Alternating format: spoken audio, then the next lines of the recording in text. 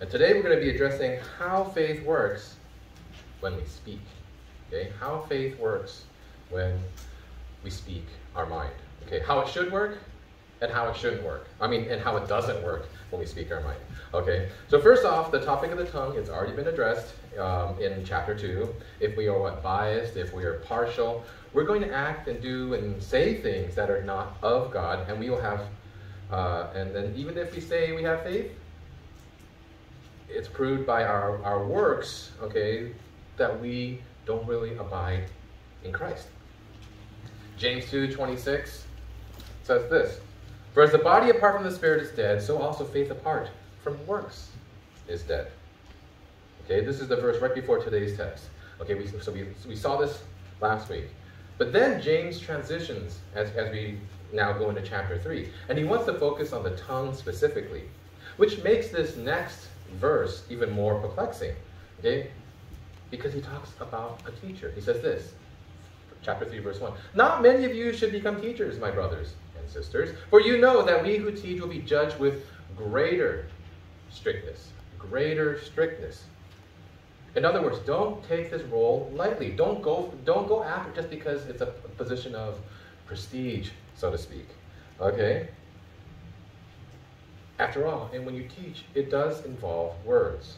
And James isn't simply talking about being any teacher. He's talking about being in the church. But I would say that it still applies in the greater teacher role and setting, okay? Because it, it's, an, it's an important role. If you think about whether at any school setting, right, elementary school, right, you, you're engaging with that teacher. That teacher is impressing upon those kids in the classroom ways to think, ways to act right? So it's an important role. And sometimes teachers, if you think about it, spend more time with kids than the parents actually do during the week, or almost the same amount. But once you add like weekends, where there's all these other extracurricular activities, um, sports or lessons in art or music, sometimes the kids don't even have that much time with their parents.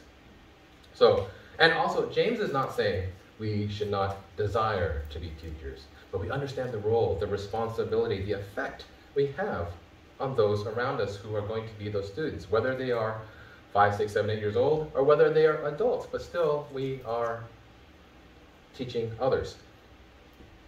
And if we're not teaching our children or others what is good, okay, then, um, well, sorry, then how do we know that the world is not teaching what, are, what, what is good? Public schools are part of our government, private schools are run by men and women, and the world and the morality that our world holds can sometimes not be fully aligned with Scripture and with what Jesus wants us to do. Okay? So, but at the same time, don't do the opposite of what I've seen many people do when they reference this verse. They said, "Oh, I'll be judged with greater strictness, so I just don't want to be a teacher." Okay, I'm gonna be okay because uh, I will be. I will avoid being a teacher at all costs because that way I won't be judged with greater strictness. I can be judged with more leniency. Like, no, if we know what is right to do, let us do that so that we can help others also follow the right way. Okay? And also know this James, when he's speaking again, is he speaking to the person you probably want to call? Someone who's wealthy, someone who's famous, someone who is all these nice, great things. They're, they're, the, they're the upper echelon, they're top number one of the one of the athletes. Is that who James is talking to? No, he's talking to the people who are poor. Mo right? Okay, that's who he's talking. People who are poor, people who are persecuted, people who are oppressed. Okay, and this is 2,000 years ago. Okay, everything back then is very backwards, almost, almost everything, backwards from what we are used to today. There's no such thing as electricity and lights. I just lost power this week, and then it's just like, huh. It's just a reminder of how even electricity is a modern technology. And then it, it was funny because I saw my son do it. He walked in the bathroom, flipped the light. Oh, oh yeah. Like, hey, daddy did that a lot of times too, where you're like, ah, oh. right? Who hasn't done that? And you remember, oh, yes, we are in the modern world. Back then, 2,000 years ago, I mean, even 100 years ago, not everybody had electricity, right? The, the, the, the, the smartphones that we have, okay? The, just 10 years ago, there was barely even a smartphone. We still had dumb phones 10 years ago, pretty much. Okay, so things have changed. People back then, if you were poor, there's no public school. Think about that. If it was uh, a, like 100 years ago, we would barely even know how to read and write. We could talk, But we would be like, oh, what's your, what's your name? I know my name. How do you write it? Well, I don't know. Right? So think about it. James is speaking to people who don't even know how to read. So that's why he's asking, like, or he's telling them, if you want to teach, understand the responsibility there is. Because you can't even read the Bible. You have to wait till whenever there is a worship service and then someone who can read reads the text to you. And then you can do your best, like, okay, memorize whatever the, the reader, uh, the person who's reading the, the, the, the Bible is saying. Okay? You would have needed someone to read Scripture. Okay?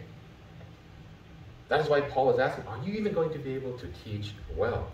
Be careful of what your heart wants, because you may want to be a teacher, but you might not be ready.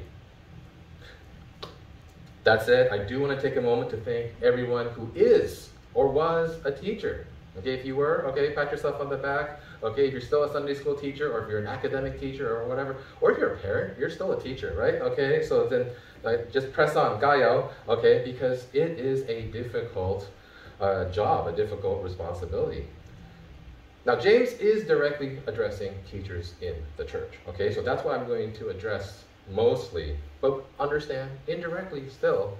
We, we can, it has still uh, the being a teacher or what he's teaching can also still apply indirectly to people who are teachers outside of the church.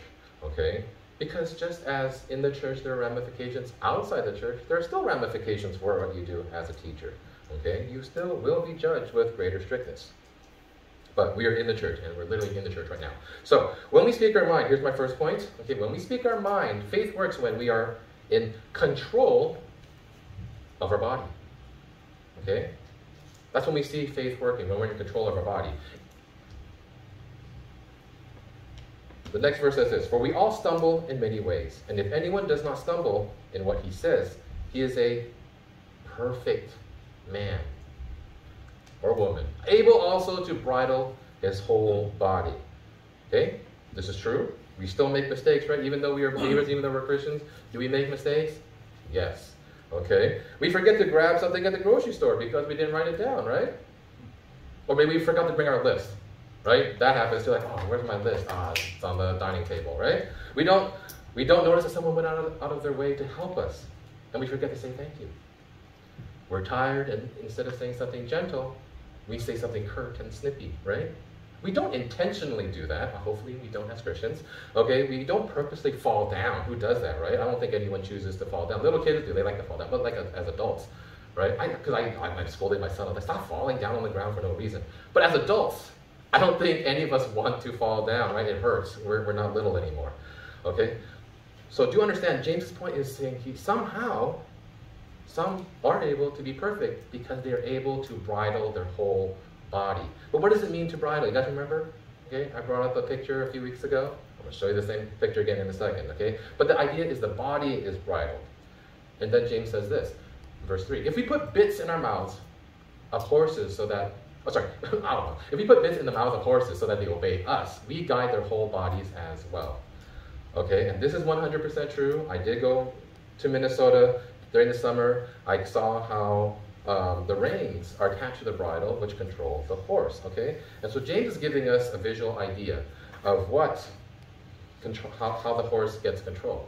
Okay, so if you see this, okay, same picture. All right, not doing any little little, little uh, shifty things. But notice that everything is leather except for what? Do you see a little metal piece next to the horse's like jaw? And inside, and that's attached to a bar, okay, that goes between the teeth. That's made out of metal. It's not leather. And the reason why is because it was leather, I mean, the horse would probably bite through it in like a week or something, chew through it. But you want it to be soft around the face, but you need to make sure that that piece that's in the mouth next to the tongue is metal so that it stays there. Because think about it, if you were to pull on the reins, like if you're sitting on the horse and you're pulling on the reins, what's going to happen if that piece isn't there? That, you're going to do that to the horse it's going to be painful. The horse is not going to like it. So it needs something here to make sure that the whole part that's attached to the head stays in the right place. But you need something metal, otherwise the horse will break it or, or, or bite through it. Okay, but once all everything is in place, now when you pull on the reins, you pull left, the horse goes left. You have to train it, of course, and then pull right, goes right. You pull back, the horse stops.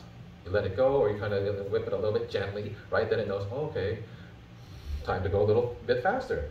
Okay, so that's how it works. But think about it. That part is on the head. That little bit is really, really important.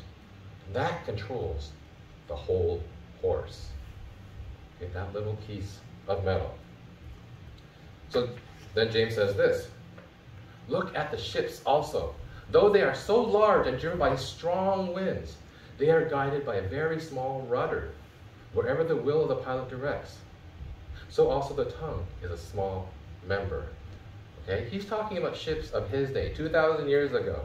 Okay, they're made out of mostly wood, maybe a little metal. Okay, but even but even in today's world, 2,000 years later, same thing. If we imagine a U.S. aircraft carrier, anyone know what the largest one is now? It's okay, now you'll know. Okay, it's the USS Gerald R. Ford. It weighs over 100,000 tons, nearly 1,100 feet in length, 78 meters wide, has two runways. Okay, well, let me go to the next picture. Okay, two runways. Has two nuclear powered 350,000 horsepower engines. Okay, that's over half a million horsepower. All right, complemented by 4,660 men and women, carries 75 aircraft. Obviously, there's not 75 on there right now, but it can. Okay, and it probably does, but it's just this is a different picture that they're trying to show us.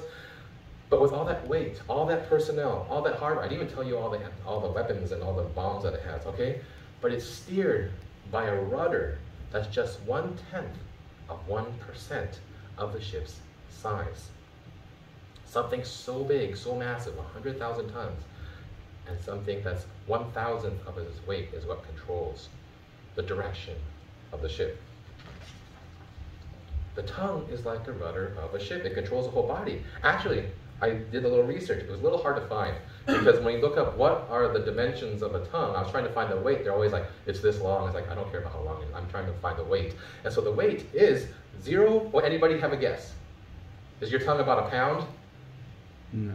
Who, I mean, no, who asked this question, no. right? Me. Okay, but anyway, so I looked it up. It's point zero, sorry, 0.16 to 0.17 pounds. It's a seventh of a pound, okay? Basically, it's also about one one thousandth of our body weight. Okay, if, if we're about 150 pounds, it's about one one thousand. Pretty astonishing if you think about it. Okay, and that, and, and James is saying, just like even the rudder on the ship, our tongue is super tiny. The mass that it is compared to our body is one one thousandth. But it controls our body. It controls our life for better or for worse. We can say it's for the better. Hopefully we do. But James doesn't ask us if we want the good news or bad news. He's going to give us both of them. And he gives us the bad news first, okay? But here's my second point, which is about the bad news. Wait, well, so when we speak our mind, faith works when we see how powerful our tongue is. How powerful our tongue is.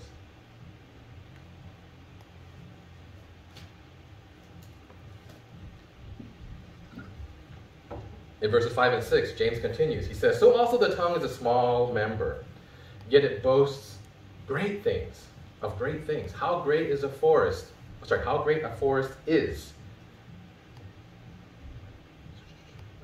How great a force is set ablaze by such a small fire. And the tongue is a fire, a world of unrighteousness. The tongue is set among our members, staining the whole body, setting on fire the entire course of life, and set on fire by hell. So I got a few, point, few points here that didn't fit in your handout, but if you want to write in the margins, you can. First sub point is the tongue is one of many body parts we know we have a ton of body parts, right? Head, shoulders, knees, and toes, right? That's just four. There's a lot more. But the one that gets the most airtime in Proverbs isn't the nose, isn't the ears, it's not even the eyes. What is it? The mouth, the tongue. Okay? Because it does so much damage. Solomon knew that. King Solomon was wise, and so he addressed it the most. Okay? Warning, warning. Next, the tongue is destructive. Not just that it's one of many parts, destructive. Okay? It boasts of great things. But what can it but what does it also do? Oh, even though boasting these great things, probably not morally good, but what is vile and harmful. And we know what a little small fire can do. right? We live in California. Thankfully, last year we didn't really have too much smoke, but the years before that, there, there was smoke. I will never ever forget the day when I went outside to move my car on a Wednesday and I look up in the sky, it's like, this is apocalyptic. The sky is red, right? Because of all the smoke. Like, this is scary. And then my neighbors out there too also move the car. It's like, yeah, this is scary, okay? And so that's what happens when a fire sets a forest on blaze. Okay, and that was actually due to several forest fires. The tongue is also corrupt. Okay, it's corrupt. It's a world of unrighteousness, as James says in verse 6. Right there, a world of unrighteousness. Unrighteousness is not a good characteristic, it's a bad characteristic. It stains, that's what it says, stains the whole body. Like coffee on a shirt, right? Like a pen. Have you guys seen it back back in the old days where like you'd see guys with a pen in their pocket and then it would bleed into their shirt, right? You can't get that out. You gotta either dye that whole shirt that pen color or you throw it away, right? Nobody wants to walk around with a stain on their shirt like that. That's what James is saying. It stains. Okay? That which was nice and healthy and whole is now contaminated. Matthew 15 11 says, A man is not defiled by what enters his mouth, but by what comes out of it. John Calvin, the reformer, he writes, A slender portion of flesh contains in it the whole world of iniquity. Okay? Iniquity, sin, that which is not righteous. Okay, the tongue is corrupt. Okay? Not only is the not only is the tongue a part of the body, but the tongue also affects one whole one's whole body. Okay? Again, like a forest fire, it, could, it causes the individual to be stained and affected. Okay? Jesus says this, but I tell you that anyone who is angry with his brother will be subject to judgment. Again, anyone who says to his brother, Raca, will be subject to the Sanhedrin. But anyone who says, you fool, same word actually, will be subject to the fire of hell. Okay? Don't, because that happens. The tongue. We, can, we are so easy to say someone is foolish, is bad, is wrong. The tongue is very interesting. Because think about it. We need to work out other parts of our body, right? When we go to the gym, is there a tongue machine? No. you have machines for every part of your body. The, the tongue is a muscle, right? Yeah, but you have right. You have dumbbells. You can do all these different things. You have bench press, weight, all all the different machines. But the tongue does not need any weight training. The tongue will get its exercise without fail. Okay, like a flint on a lighter, the tongue shoots out sparks. Right, it goes in every direction. We can say something crude to a friend. We can cut a loved one. We can give a lashing to an employee or a coworker. We can destroy a career with just a few careless words. But the tongue, see, the tongue, it's always working out, always pumping iron. No weight is too heavy for our tongue. Rather than no pain, no gain, the tongue inflicts pain without strain. Think of it that way. Okay, that's what the tongue can do. All right, you, you never go, oh, my tongue is injured. Okay, well maybe, but not quite often. Okay, so the tongue. Okay, that's what the tongue does. And James says that one's entire course of life is affected by the tongue the entire course. And what is the source of the unrighteousness? Like a cigarette butt in a dry forest that sets it on fire by hell? It's hell. That's what's doing it. Subject to, or the, uh, back, uh, go back. It's set on fire by hell at the very end. Okay? That's not of God, right? It's of hell, it's of Satan, it's of the devil. That's our tongue. All 0.014 pounds of it. The tongue is wild.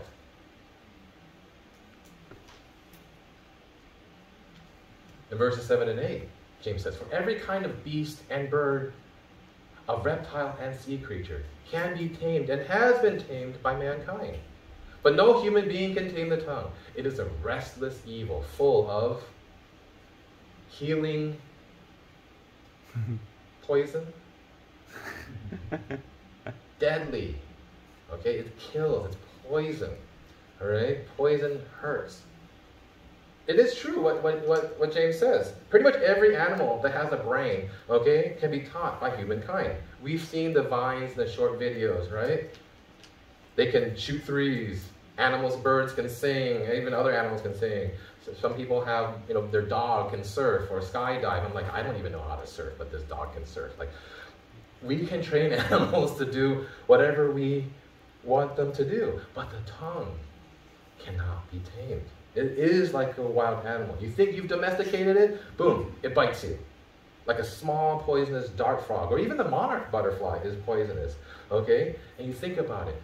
Little dart frogs, sometimes, I mean, some is like that small. But if a predator comes and eats it, oh, it's dead, right? Just a little tiny frog, that big. Okay? That's what our tongue is like. But the tongue isn't poisoning like the dart frog for survival. It's doing what? It's a restless evil. Okay? It's like a snake, fidgety, agitated because you maybe you stepped on it, but like a silent cobra hiding, all of a sudden, psh, okay? It strikes with deadly accuracy and venom. We can't tame our tongues. It's not controllable, and we can't presume that we can control it. Because the tongue is actually a reflection of our human, fleshly, sinful bodies and therefore hearts. And if our heart is not aligned with the Father's will, then it will then it will simply uh, the words that come out of it will simply be from the flesh, not good but evil.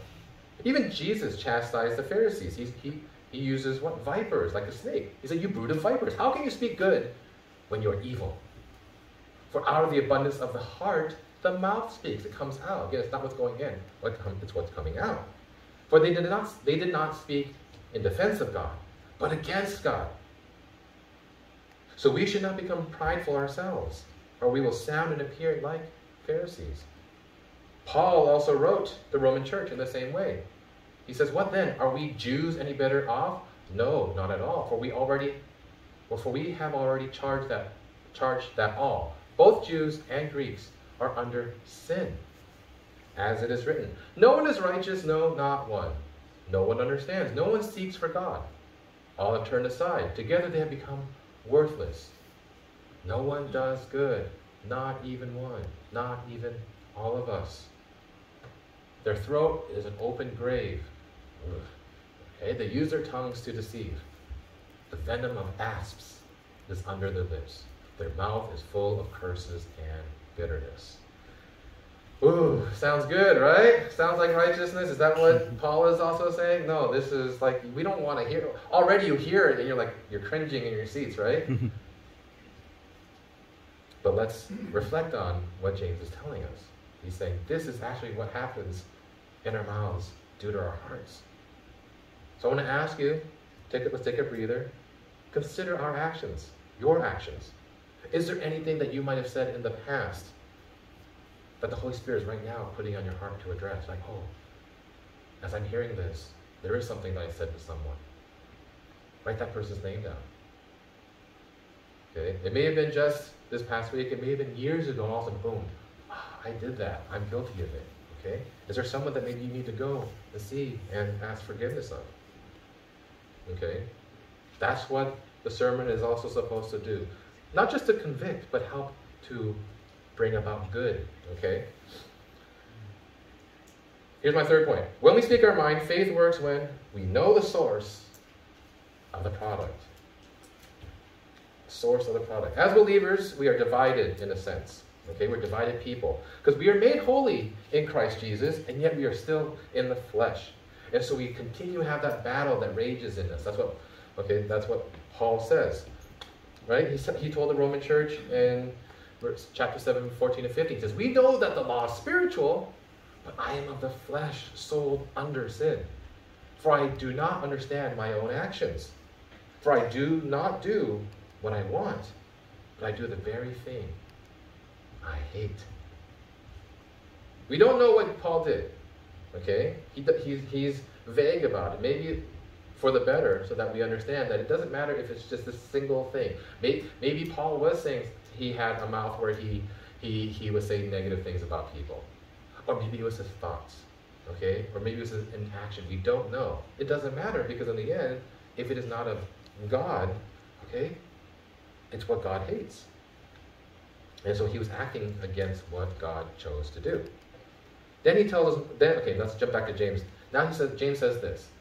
because he's describing how, how odd it is that we can do these two diametrically opposed actions with our tongue. It says, with it, our tongue, we bless our Lord and Father. Oh, God is great and wonderful, right? Amen, right? And then with the same tongue, we curse people who are made in the likeness of God. From the same mouth comes blessing and cursing. And he says, My brothers, these things ought not to be so. Because it's, it's like kind of like you go up to somebody, oh, how you doing? And then basically look at it like they're twin, and you say, oh, you suck, right? Like that's what he's saying mm-hmm. people are doing. Like that doesn't make any sense. If you're going to bless God, and yet you're also looking at people who are made in the image of God, how can you say these uh, or much worse things, right? I'm just keeping it PG. Okay, so but that has happened before, right? You've heard people use cuss words and cuss out somebody and, and, and yell at them, right? That's okay, but maybe they're not Christians. But the thing is, Paul is saying, hmm, remember, when these letters, when, when any person writes a letter and we have it in the, in the Bible, the person is addressing an issue. The apostle is saying, I'm seeing this stuff happening. Which means he's saying, hey, church, I'm seeing you guys bless God and then use your tongue to attack somebody. And this should not be happening. I don't think you guys are ready to be teachers in the church. So, is so these things James is saying should not happen. Okay, not what we should do, not what God intends for us to do, and it all is due because we have divided hearts. Okay, and everyone did not know it, and, and even today, not everyone knows it in the church. Even in today's age, a friend of mine, he actually told me how in his, well, so I'm giving the background not to call out Koreans, okay, but Koreans have a different background from Chinese. Right? We're more Buddhist, they're more um, um, shamanistic, okay, and so that's part of their older religion. And so he actually found out that in his church, one church family was calling curses on another church family. I'm like, what? That happened? Because I can't imagine that happening in a Chinese church. Maybe they did, but I don't know. I haven't heard. Okay, but at least in his church, like, oh yeah, because of like the culture background. Like, oh, okay. And so he had to go in. So what did he do? He said, oh yeah, it's okay. You know, curse the other family, right? Is that does that make sense? Yes or no? Yes? No? Oh, I mean, no? I mean, yes? I, okay, anyways. No, we should not be cursing anyone. But this is not even a, a, a cuss word. It's like, oh, I, I, I pray, God, that you harm this family, that they all die or something. That's what they were doing. And so my friend had to come in and say, oh, no, we are Christians. We don't curse, we bless. Okay? Mm-hmm. That is what we are to be doing. So obviously, I don't think my friend would be like, okay, you guys are ready to be teachers in the church. Right? No. Okay? Because they didn't even know you're not supposed to do that. All right? Christians are to bless. We are even to bless our enemies. Jesus tells us, You have heard that it was said, You shall love your neighbor and hate your enemy. That's what you've heard. That's what the world says. But Jesus says this I but I say to you, love your enemies and pray for those who what? Who give you, who treat you to dinners, who, who give you gifts. what does persecute mean? Who chase after you, who harm you, who try to mm-hmm. throw you in prison, okay, who do all these negative things, you are to love them and pray for them, so that you may be sons of your Father who is in heaven. For he makes his sun rise on the evil and on the good, and sends rain on the just and on the unjust. For if you love those who love you, what reward do you have? Do not even the tax collectors who were considered sinners do the same.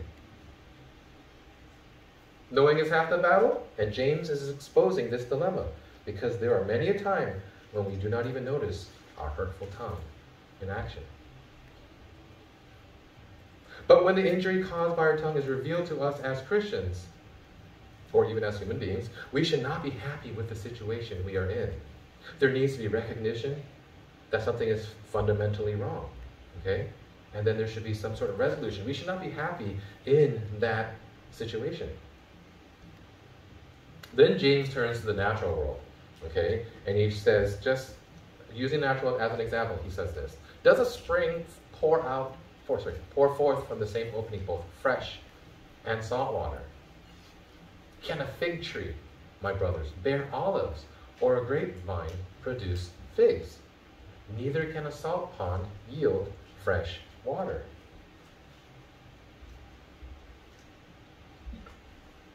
I'm drinking water, okay? This is not salt water, okay? All right?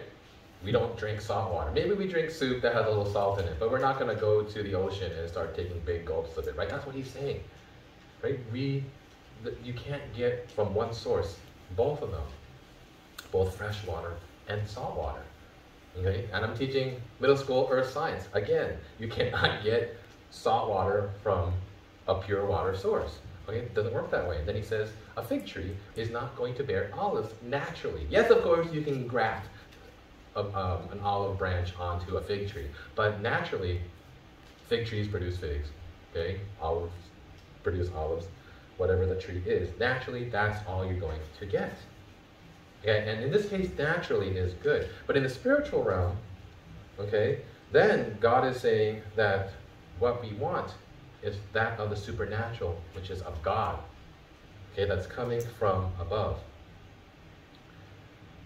Now does it make a little more sense about why James is addressing teachers? Okay, because he's saying that this is how we are to um, act, okay? And so he, as a teacher, he's teaching us as students, so then we can also be good teachers one day. And so your readiness to be a teacher is dependent on your conduct and your works. Here's my last point. When we speak our mind, faith works when the wisdom is from above. And we're going to see why it's from above, why it's so important for it to be from above. Okay, because the next six verses, he's pointing out where the source is that produces our actions.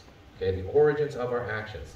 So he says this. So it's really small font. Don't worry about it. I'm going to help you see it a little bit better. But what I wanted to show you is the top and the bottom are all in black. The one in the middle, the paragraph in the middle is in red.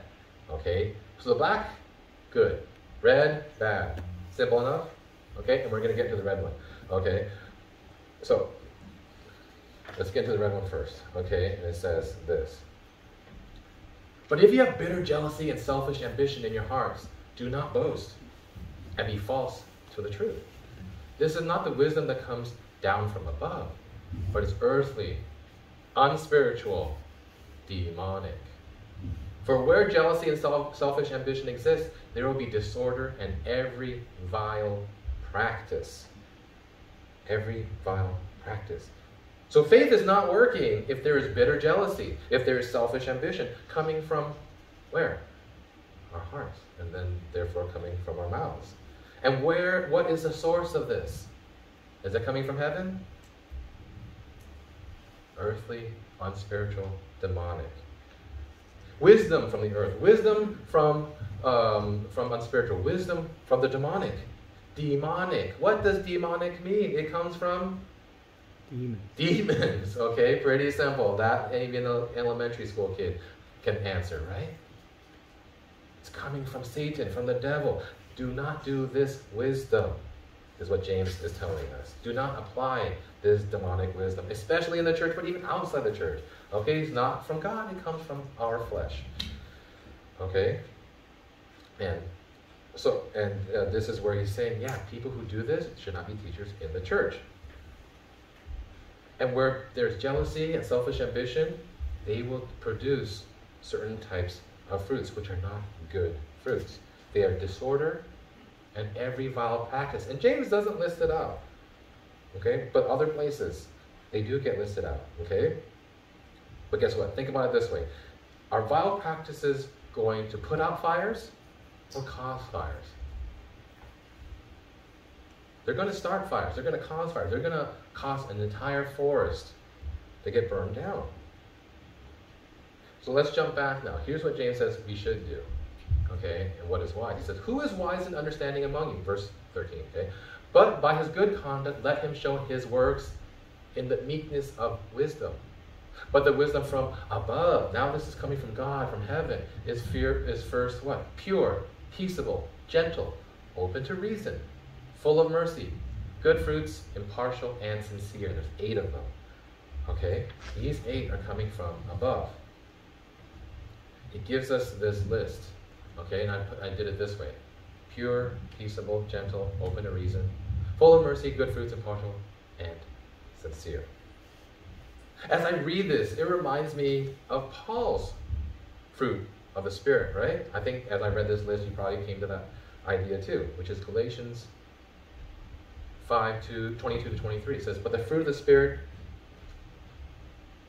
is love, joy, peace, patience, or forbearance, kindness, goodness, faithfulness, gentleness, and self control. Against such things there is no law. And then, actually, we know that one. We probably have all memorized it. But here's what Paul goes on to say to the church in Galatia Those who belong to Christ Jesus have crucified the flesh with its passions and desires. And since we live by the Spirit, let us keep in step with the Spirit, meaning our tongue. Okay, we're controlling our tongue and therefore our body.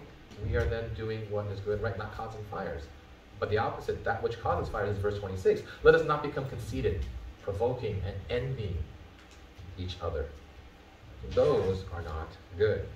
Paul's instruction is to live by the Spirit, to keep in step by the Spirit. And James is doing the same. Okay? Teachers are supposed to be this. We list it again. Pure. What's the opposite of pure? We already discussed stained. We, we should not be stained by the world, not corrupted. Peaceable. That's what we should be. Not hostile or even insistent. We should be gentle, not, not unkind or calloused, open to reason versus irrational or difficult, full of mercy, not, again, unkind or mean, good fruits versus bad fruits, jealousy, selfish ambition, and more, impartial. We know this word already, right? The opposite would be well, impartial or biased sincere, not dishonest or two-faced or devious. Okay, that's what that would be the opposite. In other words, it's not what the person necessarily knows that determines if they should be a teacher in the church, but it's even more importantly who they know or whom they know. If they know Jesus, they follow Jesus, and they embody, that means that they ought to be embodying this fruit of wisdom. We'll see it in their good conduct and in their works and in their words. Okay, we'll hear it and we'll see how they handle life by how they describe how they handle life. This is a person who, when they speak their mind, they're not really speaking their own mind. Whose mind are they speaking? That which is coming from above. God's mind, because they are in tune with God. This is the person who should be a teacher because he or she has meekness of wisdom and understanding. Let me end with this. Romans 8 6 says, For to set the mind on the flesh is death. I know, topic of death again.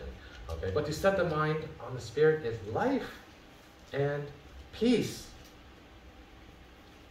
And this goes hand in hand with our last verse from chapter 3, which says, And a harvest of righteousness is sown in peace by those who make peace. Okay? At first, when I read that, I'm like, well, what, what are you doing? When you suddenly, after that giant list, now you talk about this. Yes, because now he is saying there is a product from the fruit of wisdom, basically. It is a harvest of righteousness. What is a harvest? We don't do this anymore in today's age, right? We don't go out to the fields and, and, and collect the harvest. Okay, we have perpetual fruit all year round, right? But there are times if you have like blueberries, What's the season of blueberries? End of summer. Okay. August and September is when you're supposed to have blueberries. But because we have farms now, we can have blueberries all year round. Or even crab season, right? You can get crab all year round, but when's the best time to get it? Well, when it's cheap, yes. But right now is the time to get crabs, right? Mm. Okay, so there are seasons when you harvest. Right, right now it's really cheap. Okay, four fifty, five dollars a pound. My wife wants to buy some more tonight. But anyway, a harvest not of crabs, but of righteousness is what you get when you have wisdom. Okay, the fruit uh, when you have the fruit of the wisdom, fruit of wisdom. So come from God. Okay, you have this wisdom and you apply it. Okay, that's good, and then you get even more from that harvest. A giant harvest. And here's some other words that are synonymous with righteousness. It's a giant harvest of integrity, of virtue. That's what James is addressing. Are we virtuous people? Because you know what isn't going to result from a harvest of righteousness? A giant destructive fire. Okay? The harvest is due to people who are sowing in peace because they are making peace. Right? Like Smokey the Bear says. I don't know if you guys are old enough to remember what he said. What did he say? You guys know? I should have put the picture up. Only you can prevent forest mm. fires, right? That's what he said. Right? That's what we should be doing as a church. Not creating fires with our tongue. We should be putting them out. Okay? Basically, if I were to rename this another, this would be like Christians are to be firemen. Okay, and firewomen. Okay, we put them out. We see a fire, right? We run to the fire. We get into, we you slide down the pole, jump in the fire truck. We put it out, right? Like even even Kyle last night, we saw two fire trucks drive by us in the opposite dire direction, right? They're going to the, there's a fire somewhere. They're going to go to it. They're like, well, so hey, hopefully you have a hose. Like no, we you, you that's the, the teacher is going to go and help in the church, just as the fireman is going to go to the fire to help put it out. Okay, those are the people who should be teachers. Those are the ones who have wisdom and understanding. Okay? So here are action items. The first is this discern the embodying of the fruit of wisdom in your life. Pray about it. Ask the Lord. Take some time and reflect on yourself. And ask people around you in the church who are believers, okay? Am I doing, am I embodying Jesus in the way I speak? Which actually reflects the way I think and what's in my heart. Don't be afraid, okay, to be a teacher in the church because it says you'll be judged with greater strictness. Yes, you will. That is a good thing. Okay? It's a challenge to aim for because, that, because we have greater understanding of God's word. James was addressing the people who did not have understanding and wanted to be teachers, and he's like, pull, it, pull those reins back, hold on a second, I don't think you're ready for it. Okay? But let us aim for it. Let us strive for it. Because we are what? We are, we are not poor slaves who can't read. We are literate people. We, we have the Bible. We have every translation that we can read on our phones, right? You go to YouVersion, whatever translation you want. You can find it. You can use it. Let's do that. Ask Jesus, okay, and ask others, are you embodying the fruit of wisdom? Or is that an area you need to work on? The second is this seek restoration in a broken relationship. I asked earlier if you have offended or hurt anyone with your words. But now here's the action step because now you're first you're thinking, yeah, I might have done this to somebody. Okay, but the action step is be that firefighter. Go to the person and see how you can restore the relationship. Okay, put out the fire. Because the bridge between you and that person is on fire, but sometimes you're like, it's on fire, but it's okay. no, put it out. See how the relationship can be restored. Rebuild that bridge. If you know of someone right now, go immediately, in fact. That's what the passage said, right? You have a problem with your brother and sister, go, go and take care of it. This is what is right. That's what good conduct looks like. This is what a teacher in the church looks like when they find out, oh, I've offended somebody. One who's seeking peace, gentleness, one who's open to reason and sincere. My third is this. Let us pray for wisdom and discernment for our church. Let's pray for that. If we want a harvest of righteousness in our church, we got to have sound teachers, right? And if we want to have sound teachers, and we want to have more, so our church can be even more healthy, because there are those who are saying, "We got, we, I want to be a teacher, but I want to be sound in wisdom and understanding." Then we got to be encouraging one another and praying for it so that God will do this. Pray for one another in the church to personify Jesus and have the fruit of wisdom. To be full of mercy, good fruits, impartial. Jesus died for us not to continue to cause fires and destruction in our lives and in the church, but to be a source of comfort and love for those around us. That's why what he came to do, right? He didn't come just to die on the cross and say, hey, this is the example. He died for us. And if we follow Jesus, that means we imitate him. That means we are going, that we also should be, in a sense, imitating him. Sometimes even having to bear the cross for exactly the sins that we deal with, even our I'm, I'm not saying we're working our way into heaven, but I'm saying imitate Jesus. There are times um, when we need to go and we need to run into that fire. So, if we say we follow Jesus, we've got to watch our tongues. Ask the Holy Spirit. Control our tongues. Okay, He's the one because it comes from heaven. Bridle our tongues, and that will bridle our body. This is what it means to live with purpose and the purpose God made for us. You guys remember why God made us? To worship Him. Okay? And the way to do that is by faith and works. Not with tongues that cause fire, but tongues that, re- that, that restore and bring peace. Make sense? Amen? Let's pray.